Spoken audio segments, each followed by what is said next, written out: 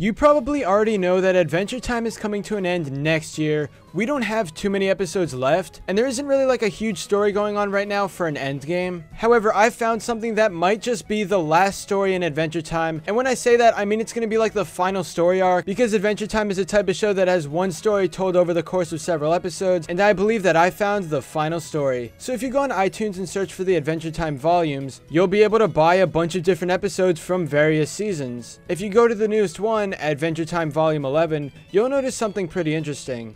Everything's perfectly normal in the land of Ooo. Finn and Jake are investigating a haunting, BMO and Ice King have become door-to-door salesmen, and Flame Princess is getting hyped up to battle the son of Rap Bear. Oh, and Ooo just happens to be on the brink of an all-out catastrophic war. Okay, so if you didn't know, these are quick blurbs for the rest of the season, and while we don't have too many details about the upcoming episodes outside of this little blurb, there's still something extremely important to mention. Ooo just happens to be on the brink of an all-out catastrophic war. I think that this is going to be the end game for Adventure Time. The final episodes will dive into the topic of war. Now, if you're a regular viewer of the series, then you already know all about the Mushroom War. We had to leave our place because the world was dying.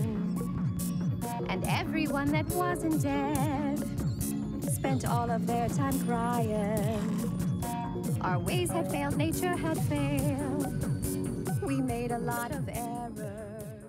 The characters talk about it constantly, and it happened a while ago, which created a post-apocalyptic world. However, there are hints throughout the series that there is going to be a second Mushroom War, and possibly this description is referring to a second Mushroom War. So in the episode Lemon Hope Part 2, towards the very ending, we see Lemon Hope walk across a future land of Ooo. As you can see by the images, it is clearly abandoned. Something happened to make this post-apocalyptic world an even more post-apocalyptic world. This is post-apocalypseception. But seriously, you can see that the land of Ooo is not as colorful as it used to be, and if the end of Adventure Time actually has a full-out catastrophic war like this blurb says, then this very well could be the second Mushroom War. In the episode Graybles 1000 Plus, we get an even deeper look into the land of Ooo in the far future, Welcome home, Starchy.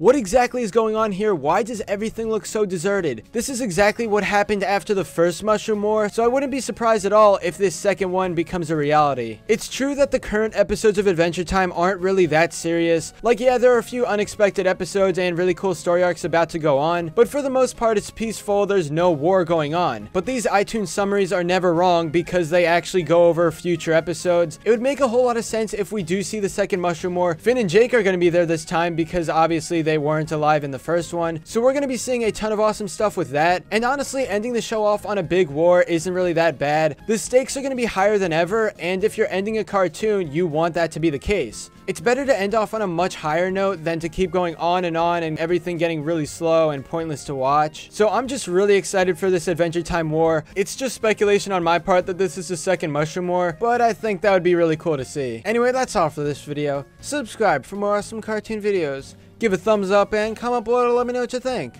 Thanks for watching, and I'll see you guys next time.